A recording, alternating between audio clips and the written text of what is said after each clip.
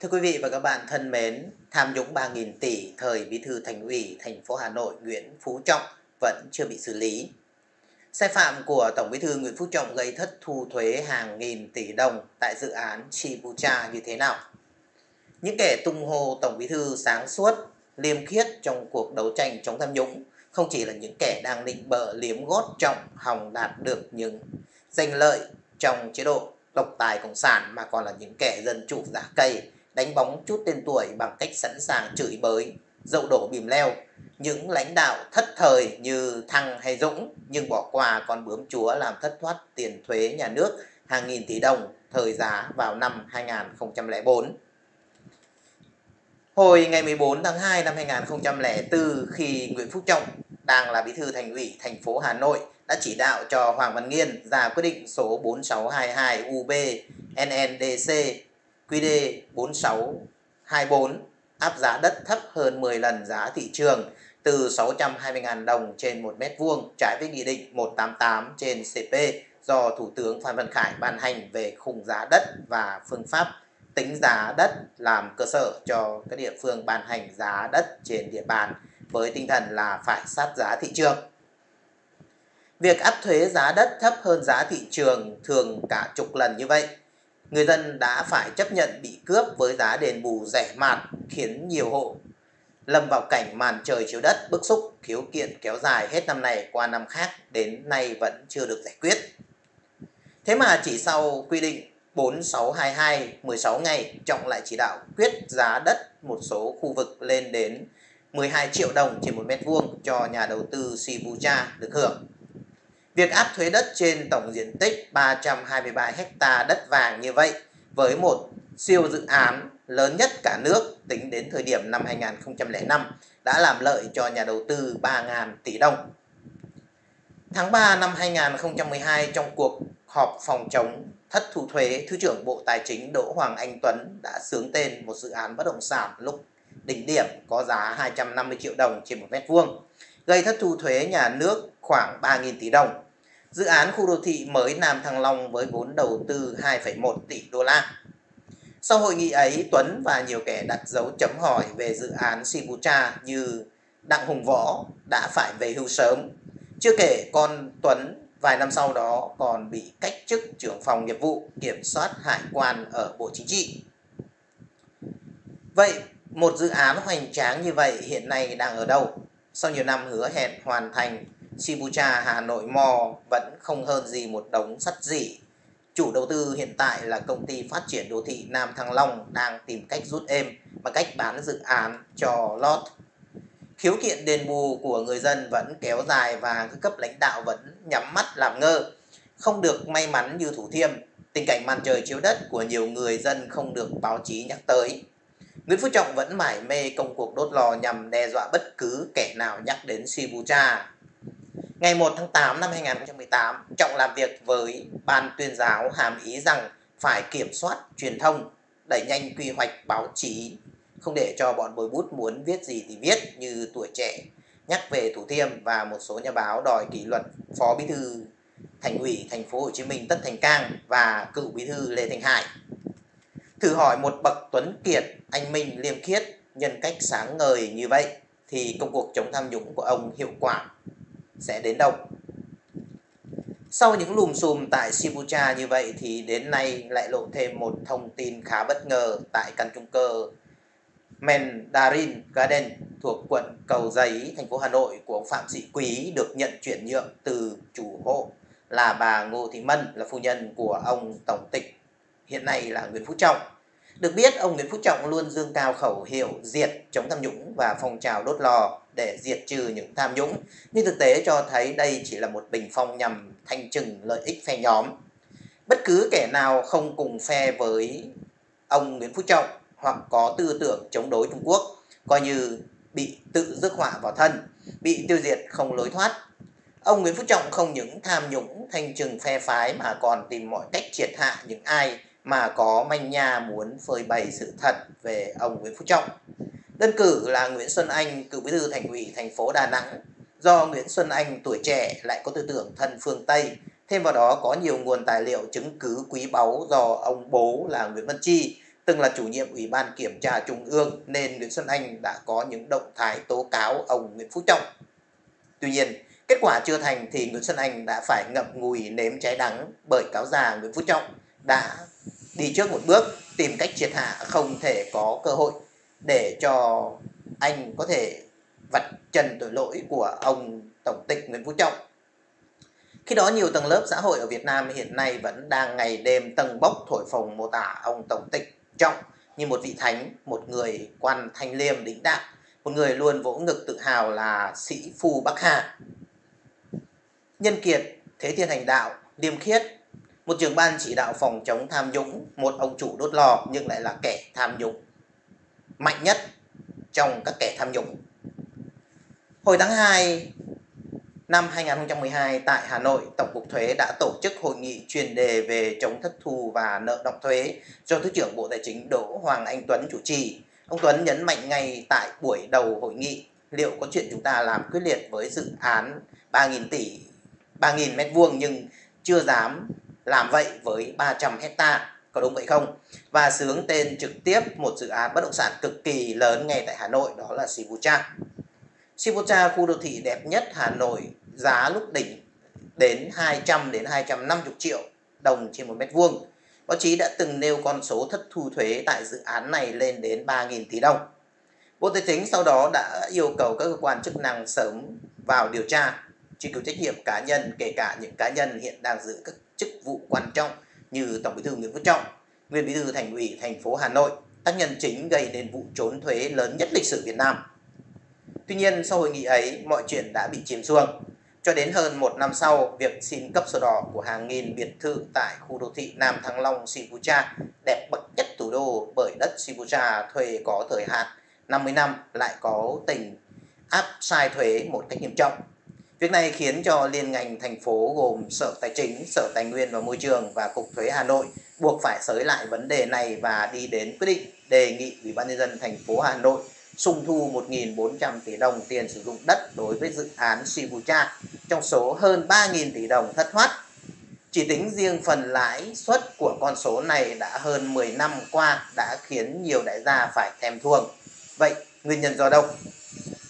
Nhằm giúp doanh nghiệp trốn mức thuế sắp đặt áp dụng từ đầu năm 2005. Ngày 14 tháng 12 năm 2004, Hoàng Văn Nghiên, nguyên chủ tịch Ủy ban nhân dân thành phố đã xách vali 1 triệu Mỹ Kim đến nhà riêng của Bí thư Thành ủy Nguyễn Phú Trọng để xin ý kiến về việc ưu tiên cho Sibucha nộp thuế theo mức đặc cách và dĩ nhiên được Bí thư Thành ủy Nguyễn Phú Trọng bật đèn xanh. Quyết định do ông Nghiên ban hành theo chỉ đạo của ông Trọng đã khiến nhà nước thiệt hại hơn 3.000 tỷ đồng. Chưa biết hay ông ăn chia như thế nào, nhưng ngoài vụ 3.000 tỷ thì ông Nghiên còn được ông Trọng đồng ý cấp một căn biệt thự đến giờ vẫn chưa thu hồi được. Và ông này đã từng chiếm trệ trên chiếc xe 5 tỷ đồng, tương đương với 5.000 con trâu thời bấy giờ. Khi sự việc đi xe 5 tỷ bị dư luận lên án để bảo vệ nội bộ, truyền thông trong nước phải thành mình thành Nga là xe phục vụ công tác đối ngoại của thành phố Hà Nội. Phương pháp ông Nghiên, ông Trọng tính giúp Sibucha đã đem lại siêu lợi nhuận cho nhà đầu tư bất động sản Sibucha. Chưa hết để dựng bình phong che giấu tiêu cực, Sibucha đã biếu không hàng chục biệt thự triệu đô cho các gia đình chính sách. Nguyễn Phú Trọng, Hoàng Văn Nghiên và sau này là Phạm Quang Nghị nấp dưới nhiều tên tuổi khác nhau nhằm quyết liệt chỉ đạo thanh tra chính phủ làm êm vụ này. Mặc dù được Bí thư Trung ương Hà Nội Nguyễn Phú Trọng ưu ái nhưng với kiểu kinh doanh trục giật, hiện nay liên doanh bất động sản kinh doanh khu đô thị Sibucha đứng trước bờ vực phá sản, hàng trăm hecta đất vàng không sử dụng cả chục năm. Khu mua sắm Sibucha Hà Nội mò khổng lồ đang bị hoang phế là minh chứng cho sự lãng phí tiêu cực khủng khiếp dưới thời ông Nguyễn Phú Trọng làm bí thư thành phố Hà Nội. 3.000 tỷ đồng sai phạm và hơn 10 năm lãng phí khủng khiếp hàng trăm hecta đất vàng, liệu ông Nguyễn Phú Trọng còn đủ tư cách làm tổng bí thư và đứng đầu ban chỉ đạo phòng chống tham nhũng? Khu đô thị Shibuya, chủ đầu tư chiếm dụng đất công cộng làm sân tập golf. Chủ đầu tư khu đô thị Shibuya là công ty Nam Thăng Long nhiều năm nay đã quay khu cây xanh công viên thể dục thể thao phục vụ nhu cầu vui chơi giải trí của người dân làm sân tập gôn. Sân tập gôn của Sibucha Club nằm trong khu đô thị Nam Thăng Long, khu đô thị Sibucha. Nhiều năm nay được các trang mạng quảng bá là trung tâm thể thao và giải trí mới nhất của thành phố Hà Nội với mô hình 11.000 m2 với 38 làn tập gôn tuyệt đẹp hướng ra phai về. Khu vực phát bóng tới lỗ gôn cùng với khu vực chipping, khu vực thực hiện cú đánh gần lỗ gôn được thiết kế với hố cát nhân tạo và khu vực bút tinh tương tự như chipping nhưng gần hơn, rộng 300 m2 với thảm cỏ tự nhiên. Câu lạc bộ được trang bị các tiện nghi hiện đại cao cấp nhất bao gồm trung tâm thể hình, bể, bể bơi 4 mùa trong nhà. Khu tập gôn được thiết kế mở gần gũi với thiên nhiên, nằm ngang mang lại dịch vụ tốt nhất cho hội viên. Được quảng bá với những mỹ từ như rót mật vào tai và đi vào hoạt động từ nhiều năm nay, song ít ai biết rằng sân tập gôn Shibuya Club đang chiếm dụng khu đất cây xanh công viên thể dục thể thao của người dân. Cụ thể, hồ sơ phóng viên có được cho thấy khu đô thị Shibuya được chia làm 3 giai đoạn. Sân tập gôn Shibuya Club nằm trong khu đất thuộc quy hoạch Shibuya giai đoạn 2. Giai đoạn này có tổng diện tích khoảng 148.026 hecta, quy mô dân số 18.300 người, được Ủy ban nhân dân thành phố Hà Nội phê duyệt quy hoạch chi tiết tỷ lệ 1 trên 500 ngày 28 tháng 7 năm 2004 tại quyết định số 114 trên 2004 trên QĐ-UB. Theo quy định chi tiết, tỷ lệ 1 trên 500 khu đô thị Sipucha giai đoạn 2 không có khu đất nào được bố trí làm sân golf sân tập gôn. shibuya Club hiện tại đang nằm trong khu đất cây xanh công viên thể dục thể thao gồm có 8 ô tổng diện tích khoảng 22 hecta, trong đó có 3 ô số 5 diện tích 5.887 m2 và số 15 diện tích 4.466 m2 số 16 diện tích 12.699 m2 được bố trí trồng và trưng bày hoa đào với các biện pháp công nghệ cao. Còn 5 ô số 7 diện tích 90.171 m2, số 8 diện tích 59.582 m2 và số 9 là diện tích 14.052 m2 và ô số 10 diện tích 4.685 m2, ô số 11 diện tích 28.584 m2 để trồng cây xanh làm công viên vui chơi giải trí cho cư dân trong khu vực. Thực tế theo khảo sát, phóng viên cho thấy toàn bộ khu đất cây xanh công viên thể dục thể thao giai đoạn 2 nói trên đã và đang được chủ đầu tư xây hàng rào, quầy tôn từ nhiều năm nay, được bảo vệ nghiêm ngặt, người dân không thể ra vào. Để làm rõ thông tin trên, phóng viên đã có buổi làm việc với ông Nguyễn Anh Tuấn, kiến trúc sư đại diện công ty Nam Thăng Long. Tại buổi làm việc, ông Tuấn xác nhận sân gôn Shibuya Club là đất cây xanh công viên, thể dục thể thao. Riêng tòa nhà Sipucha Club, nơi bố trí làn tập sân golf không nằm trong khu đất cây xanh công viên, thể dục thể thao mà được xây dựng theo đúng quy định, quy hoạch được duyệt còn khu vực sân tập golf nằm trong khu đất cây xanh công viên toàn khu cấp thành phố, được Ủy ban dân thành phố Hà Nội giao cho công ty Nam Thăng Long quản lý trong thời gian 50 năm. Nói về việc vì sao không cho cư dân vào khu vực này, ông Tuấn cho rằng đang vướng giải phóng mặt bằng nhiều năm nay buộc chủ đầu tư phải quay lại để bảo đảm an toàn cho người dân. Còn về sân tập gôn đang chiếm dụng đất cây xanh công viên. Ông Tuấn cho rằng khu đất trên Ủy ban nhân dân thành phố Hà Nội giao cho công ty Nam Thăng Long quản lý và bên phía công ty có quyền đầu tư kinh doanh kiếm lời. Sau khi giải phóng mặt bằng xong và bàn giao đưa vào sử dụng, hết giấy phép Sibucha mới bàn giao lại cho thành phố Hà Nội. Đáng nói, công ty Nam Thăng Long đang chiếm dụng đất công cộng để làm sân tập gôn, sử dụng vào mục đích kinh doanh kiếm lời, phục vụ nhóm nhỏ cư dân đang có nhu cầu có tính phí dịch vụ mà đáng lẽ ra tất cả dân cư trong khu vực được sử dụng khu đất nói trên hoàn toàn miễn phí. Vậy công ty Nam Thăng Long đang chiếm dụng đất công cộng làm sân gôn với mục đích kinh doanh kiếm lời có đúng quy định của pháp luật hay không? Ai sẽ là người được hưởng lợi từ những khoản thu trong việc kinh doanh trên? Sau những lùm xùm tại Simbucha như vậy thì đến nay lại lộ thêm một thông tin khá bất ngờ tại căn chung cư Mandarin Garden thuộc quận Cầu Giấy, Hà Nội của ông Phạm Sĩ Quý được nhận chuyển nhượng từ chủ hộ là bà Ngô Thị Mân là phu nhân của ông Tổng tịch Nguyễn Phú Trọng. Được biết, ông Nguyễn Phú Trọng luôn dương cao khẩu hiệu diệt chống tham nhũng và phong trào đốt lò để diệt trừ tham nhũng nhưng thực tế cho thấy đây chỉ là một bình phong nhằm thanh trừng lợi ích phe nhóm. Bất cứ kẻ nào không cùng phe nhóm với ông Nguyễn Phú Trọng hoặc có tư tưởng chống đối Trung Quốc coi như bị rước họa vào thân, bị tiêu diệt không lối thoát. Ông Nguyễn Phú Trọng không những là đại tham nhũng, thanh trừng phe phái mà còn tìm một cách triệt hạ những ai có manh nha muốn phơi bày sự thật về ông Trọng. Đơn cử như Nguyễn Xuân Anh, cựu bí thư thành ủy Đà Nẵng, do Nguyễn Xuân Anh tuổi còn trẻ lại có tư tưởng thân hữu phương Tây. Thêm vào đó có nhiều nguồn tài liệu chứng cứ quý báu do ông bố là Nguyễn Văn Chi, từng là chủ nhiệm Ủy ban Kiểm tra Trung ương nên Nguyễn Xuân Anh đã có những động thái tố cáo ông Nguyễn Phú Trọng. Tuy nhiên, kết quả chưa thành thì Nguyễn Xuân Anh đã phải ngậm ngùi, ngậm đắng nuốt cay bởi lão già Nguyễn Phú Trọng đã đi trước một bước tìm cách triệt hạ không để cho cơ hội cho Nguyễn Xuân Anh có thể tố cáo về trần tội lỗi của Nguyễn Phú Trọng trong đó nhiều trong khi đó nhiều tầng lớp của xã hội của Việt Nam hiện nay vẫn đang ngày đêm tầng bốc thổi phồng mô tả hình ảnh của ông Nguyễn Phú Trọng như một vị thánh, một người quan thanh liêm đĩnh đạt, một người luôn vỗ ngực tự hào là sĩ phu Bắc Hà, nhân kiệt liêm khiết thế thiền hành đạo. Một trưởng ban chỉ đạo phòng chống tham nhũng, một ông chủ lo nhưng lại là một kẻ tham nhũng tay trời không ai bằng. Như tin đã đưa một đồn đoán chị em của bà Phạm Thị Thanh Trà, bí thư tỉnh ủy Yên Bái. Ông Phạm Sĩ Quý, nguyên giám đốc Sở Tài nguyên Môi trường tỉnh Yên Bái đã được che chở bởi bạn tay nhèm nhuốc của ông Tổng Bí thư Chủ tịch nước Nguyễn Phú Trọng nâng đỡ đã quá rõ ràng không còn bàn cãi. Đến nay thì mọi sự khuất tất lùm xùm về sai phạm động trời của ông Phạm Sĩ Quý, nguyên giám đốc Sở Tài nguyên và Môi trường tỉnh Yên Bái sẽ dừng bạt núi để xây biệt phủ đã được chìm xuồng lại còn được thăng chức về Trung ương công tác. Ngày 18 tháng 1 vừa qua, một lãnh đạo Ủy ban dân tỉnh Yên Bái cho biết ông Phạm Sĩ Quý, Phó Tránh Văn phòng Hội đồng Nhân dân tỉnh trước khi sắp nhập ba văn phòng địa phương này đã nhanh chân kịp chuyển công tác về một cơ quan tại Hà Nội.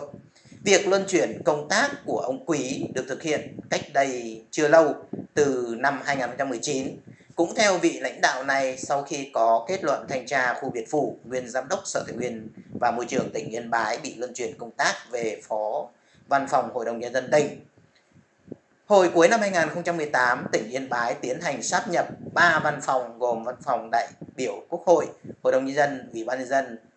tỉnh nên dôi dư là một số lãnh đạo cấp phó. Ông Quý có đơn xin thôi chức phó văn phòng để chuyển về Hà Nội làm việc tại một liên hiệp hội Ông Quý xin chuyển công tác theo nguyện vọng cá nhân. Việc luân chuyển cán bộ thực hiện theo đúng quy định, vị lãnh đạo Ủy ban Nhân dân tỉnh Yên Bái nói. Cuối năm 2018, tỉnh Yên Bái tiến hành sáp nhập ba văn phòng gồm Ủy ban Nhân dân, Ủy ban Nhân dân và Hội đồng Nhân dân, đại biểu Quốc hội. Nên dôi dư ra một số lãnh đạo cấp phó, ông Quý có đơn xin thôi chức phó văn phòng để về Hà Nội làm việc tại một liên hiệp hội. Theo báo Tuổi Trẻ Online, ông Phạm Sĩ Quý chuyển về Hà Nội làm Phó Giám đốc Trung tâm Hợp tác Quốc tế thuộc Liên hiệp các tổ chức khoa học và kỹ thuật Việt Nam. Ông Phạm Sĩ Quý nguyên là Giám đốc Sở Tài nguyên Môi trường tỉnh Yên Bái. Sau khi có kết luận thanh tra khu biệt phủ Yên Bái, ông Quý đã nhận hình thức kỷ luật cảnh cáo, thôi các chức vụ bí thư đảng ủy, ủy viên Ban chấp hành Đảng Bộ Sở Tài nguyên Môi trường, thôi chức vụ Giám đốc Sở Tài nguyên Môi trường, điều động đến nhận công tác tại Văn phòng Hội đồng Nhân dân tỉnh Yên Bái, đảm nhiệm chức vụ Phó Văn phòng Hội đồng Nhân tỉnh. Kết luận của Thanh tra Chính phủ xác định ông Phạm Sĩ Quý có nghĩa vụ phải kê khai tài sản, thu nhập nhưng không kê khai đầy đủ, thiếu trung thực, vi phạm quy định về trách nhiệm của người có nghĩa vụ phải kê khai. Thanh tra Chính phủ cũng cho rằng vi phạm của ông Phạm Sĩ Quý đến mức phải thi hành kỷ luật nghiêm minh. Trả lời báo chí thời điểm thanh tra, ông Quý cho rằng khu dinh thự của mình được xây dựng từ tiền vay ngân hàng, mượn của nhiều bạn bè và kết quả của một quá trình ông làm lũ, đi từ thời trẻ nỗ lực vươn lên bằng đủ thứ nghề. Như chúng ta đã biết, hồi còn đương chức bí thư thành ủy thành phố Hà Nội, ông Nguyễn Phú Trọng đã lạm dụng quyền hạn của mình chỉ đạo ông Hoàng Văn Nghiên, chủ tịch thành phố quyết định giá lên đến 12 triệu trên một mét vuông. Tại thời điểm này đã làm lợi cho tập đoàn Sibucha 3.000 tỷ đồng, gây thất thoát nguồn thu thuế cho nhà nước.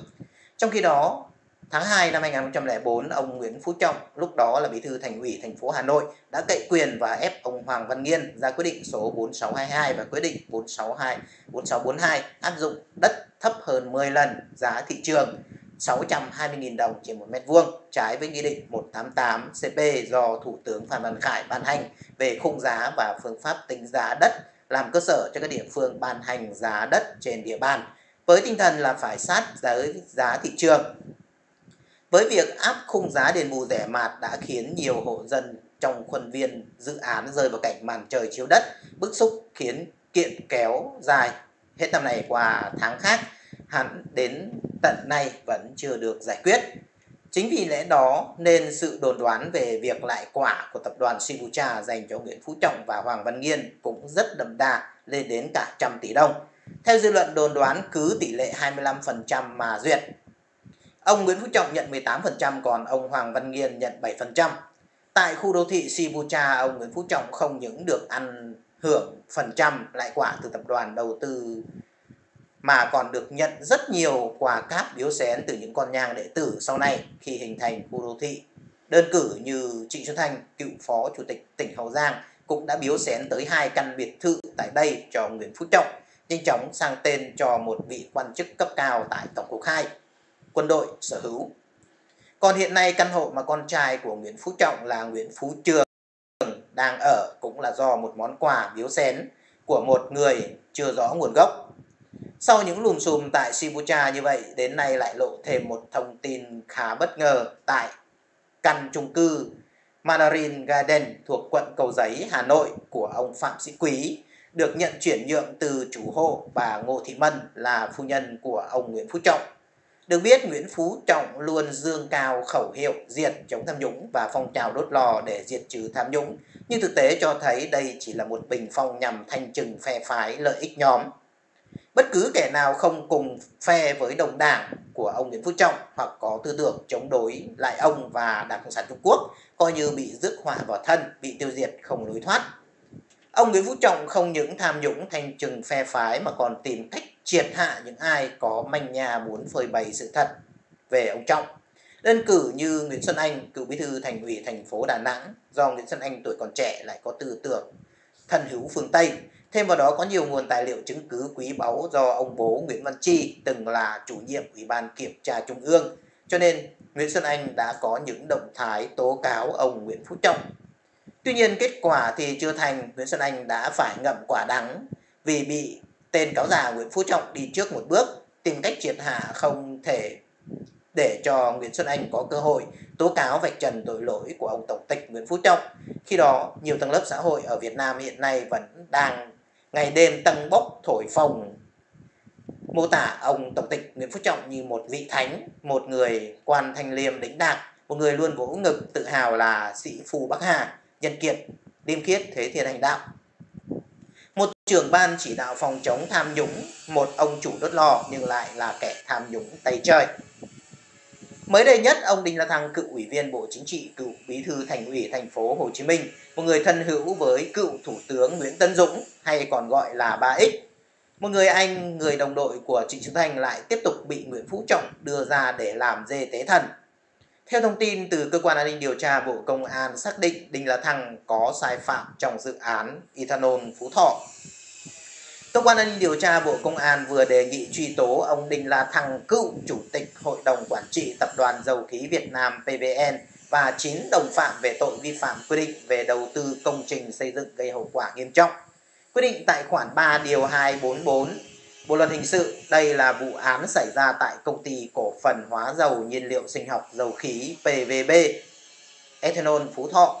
Kết quả điều tra cho thấy năm 2007, ông Đinh La Thăng thay mặt Hội đồng Quản trị PVN ký nghị quyết thông qua chủ trương đầu tư dự án Ethanol Phú Thọ. Một năm sau, PVN lập ban chỉ đạo triển khai các dự án nhiên liệu sinh học. Do ông Thăng làm trưởng ban để thực hiện dự án ethanol nói trên, PVB đã tiến hành mời thầu TK05 với nội dung thiết kế mua sắm cung ứng vật tư thiết bị thi công xây dựng công trình nhà máy sản xuất ethanol nhiên liệu sinh học phía Bắc. Cơ quan điều tra xác định dù 6 nhà khoa học không ai đủ điều kiện nhưng ông Đinh La Thăng và cấp dưới vẫn ký nhiều công văn chỉ đạo thực hiện chỉ đạo thầu cho liên danh PVC, Alpha, Lavo, Delta tham gia dự án trên. Khi chủ đầu thầu khi chủ đầu tư và chủ thầu PVB có báo cáo thẩm định liên doanh này không đáp ứng yêu cầu, ông Thăng và đồng phạm tiếp tục chỉ đạo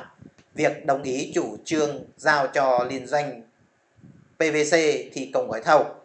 Căn cứ công văn chỉ đạo của ông Thăng và cựu lãnh đạo PVN tháng 6 năm 2009, Công ty cổ phần hóa dầu nhiên liệu sinh học dầu khí ra quyết định chỉ định thầu cho liên doanh PVC và ký hiệp hợp đồng EPC chi hàng nghìn tỷ đồng cho dự án này. Quá trình thực hiện do liên danh PVC Alpha Lavo Delta không đủ năng lực nên dự án nhà máy ethanol Phú Thọ phải dừng thi công từ tháng 3 năm 2013 gây thiệt hại cho nhà nước số tiền lớn. Cơ quan an ninh điều tra xác định vụ án xảy ra tại PVB gây hậu quả nghiêm trọng. Các bị can hầu hết là những người giữ vị trí chủ chốt trong các đơn vị kinh tế quan trọng, được nhà nước tin tưởng giao quản lý vốn và thực hiện dự án công trình lớn. Tuy nhiên, quá trình thực hiện các bị can đã vi phạm pháp luật gây thiệt hại lớn về kinh tế, khiến cho dư luận bức xúc nên cần xử lý nghiêm. Quá trình điều tra, ông Thăng thành khẩn khai báo tích cực hợp tác với cơ quan chức năng trước đây. Bị can có thành tích xuất sắc trong công tác kết luận điều tra để đề nghị Viện Kiểm sát Nhân dân tối cao áp dụng các tình tiết giảm nhẹ theo quy định đối với cựu chủ tịch PVN. Dự án Ethanol Phú Thọ có vốn đầu tư ban đầu khoảng 1.700 tỷ đồng, sau điều chỉnh lên 2.400 tỷ đồng. Dự án nằm trên diện tích 50 hecta chủ đất, chủ yếu là đất trồng lúa ở huyện Tam Nông, tỉnh Phú Thọ. Được triển khai sớm nhất trong 3 dự án sản xuất ethanol nhiên liệu của PVN. Song đến nay nhà máy này vẫn chưa hoàn thành do nhà thầu là Tổng công ty xây lắp dầu khí PVC dừng thi công từ tháng 11 năm 2011. Thanh tra Chính phủ xác định dự án nhà máy ethanol Phú Thọ đã tiêu tốn 1.500 tỷ đồng nhưng đến thời điểm thực hiện thanh tra từ tháng 9 năm 2016 vẫn giang dở, bế tắc. Như vậy ông Tổng tịch Nguyễn Phú Trọng có phải là người chống tham nhũng, người đốt lò vĩ đại thật sự như những gì mà ban tuyên giáo cũng như dư luận đã và đang cơ ngợi ông hút trời? Hay chăng đây chỉ là những chiêu trò mà nhằm thanh trừng phe nhóm khác đối với phe của ông Tổng tịch Nguyễn Phú Trọng mà thôi? Xin chân thành cảm ơn thời gian theo dõi của quý vị và các bạn đã dành cho chương trình của chúng tôi đến phút cuối. Xin hãy để lại những lời bình luận góp ý để giúp cho chúng tôi thực hiện các chương trình kế tiếp một cách tốt hơn. Hãy bấm vào nút chia sẻ để cho thông tin được lan tỏa đến với nhiều người hơn. Hãy bấm vào nút đăng ký để trở thành thành viên tích cực của kênh. Hãy bấm vào hình quả chuông bên cạnh nút đăng ký để nhận được những thông báo nhanh nhất, sớm nhất về các chương trình của chúng tôi sắp phát hành. Xin chân thành cảm ơn và hẹn gặp lại quý vị và các bạn trong các chương trình kế tiếp của chúng tôi.